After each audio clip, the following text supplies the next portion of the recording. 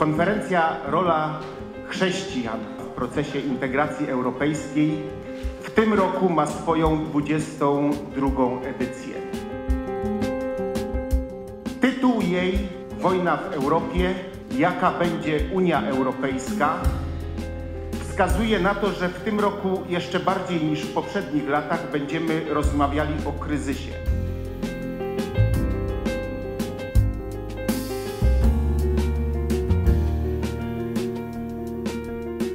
Wojna na terenie Europy w rozumieniu geograficznym jest oczywiście bardzo dużym wyzwaniem dla funkcjonowania w ogóle procesu integracji europejskiej.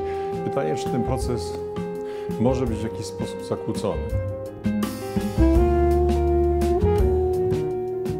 Tegoroczna konferencja ma dużo szczęścia, dlatego że otworzyła ją Roberta Metsola, przewodnicząca Parlamentu Europejskiego. We are now facing yet more and significant challenges. First of all, with the illegal, brutal, and unjustified invasion of Russia into Ukraine, with the rising energy prices, with bills that our families and our businesses cannot pay.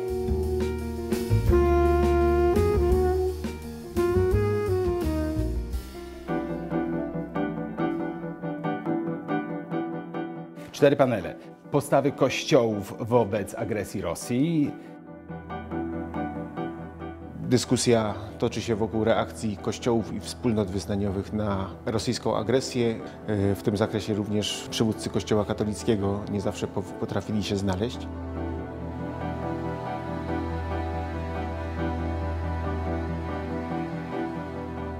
Sfera komunikacji jako pole walki. Wojna na informacje z reguły bywa także takim jednym z teatrów wojennych. W przypadku tego szczególnie y, rola dezinformacji, rola sfery komunikacji jako pola walki jest jedną z podstawowych.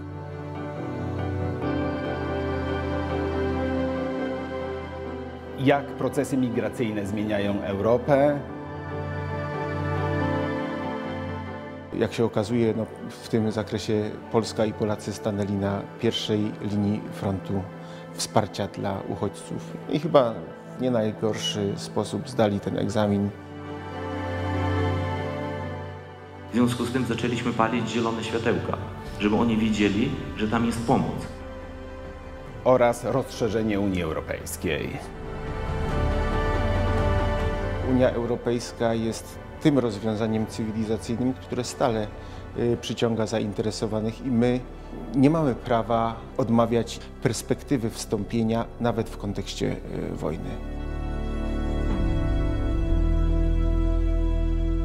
Konferencja zgromadziła około 170 osób. Wszystko odbywa się w Krzysztoforach. Bardzo ciekawa dyskusja. E, można było uczestniczyć w tej dyskusji nie będąc w Krakowie, bo wszystko było transmitowane online.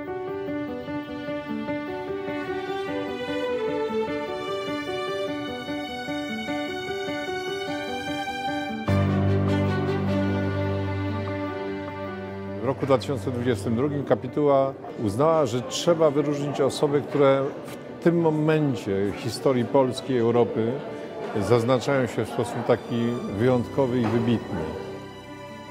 Zastępca Rzecznika Praw Obywatelskich, pani dr Machińska, jest właśnie z tego e, znana. No nie jest prostym urzędnikiem, jest z jednej strony świetnym prawnikiem, ale jest odważną kobietą, która broni ludzi, broni ludzi w potrzebie.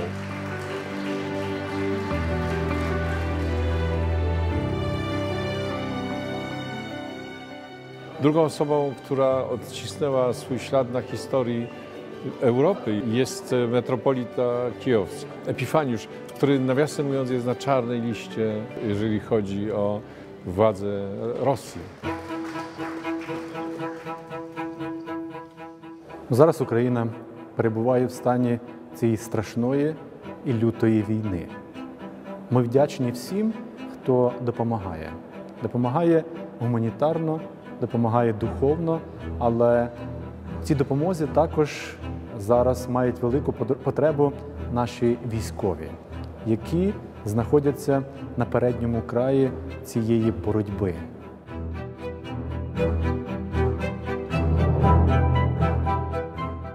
To nie jest narada wojenna. To nie jest narada, która kończy się sztabowo podjęciem decyzji, czy idziemy w prawo, czy w lewo, To jest rozmowa ludzi, którzy muszą najpierw mieć ogromną wiedzę. Konkluzje tegorocznej konferencji są następujące. Należy Ukraińcom pomagać i wszyscy mamy nadzieję po tych rozmowach, że ta sytuacja zmieni się niebawem na dobre. Україна прагне бути невід'ємною частиною європейської спільноти. Всі ми живемо у європейській цивілізації, яка є християнською цивілізацією. Ciekawą rzeczą jest to, że myśmy w ubiegłym roku planowali jedno ze spotkań w Kijowie. Niestety wojna nam przeszkodziła. Dzisiaj zastanawiamy się nad tym, czy nie da się tego zrobić za rok w jakiejś formie w Kijowie. Nie wykluczyłbym tego.